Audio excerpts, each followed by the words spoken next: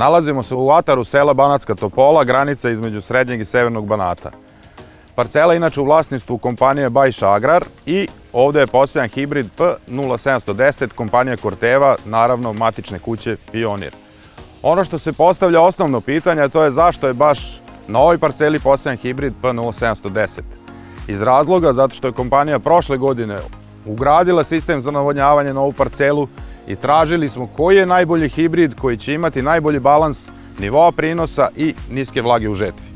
Izbor je pao na P0710, hibrid novije generacije, nešto nižeg stabla od njegovog parnjaka iz ranije generacije, to je 412, viši nivo prinosa, niži nivo vlage u žetvi. Znači, u ekstenzivnoj proizvodnji hibrid koji će najbolje odgovoriti na ono što proizvođač traži.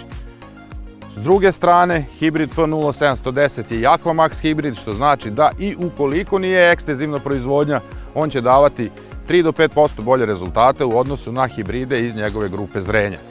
Što se tiče same agrotehnike na ovoj parceli, možemo zaključiti da je stanje hibrida fantastično, iako je imao oštećenje od grada koje se desilo u četvrtom, petom listu kukuruza, koje trenutno ne predstavlja nikakav problem, đubrivo u maksimalnom iznosu i naravno saradnja sa kompanijom i kompanijom Corteva u tome da se koriste i herbicidi kompanija Corteva.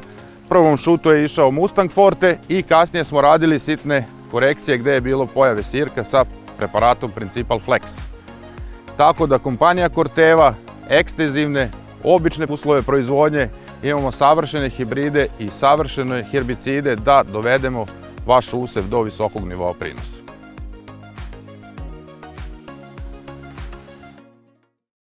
Domaćin će svaki znati, dobar savjet se isplati. Sa novog portala Vreba, savjeti sa agroneba. Posjetite ovog trena i nestaće ta dilema. agrosavjeti.rs Sajt koji nudi odgovore.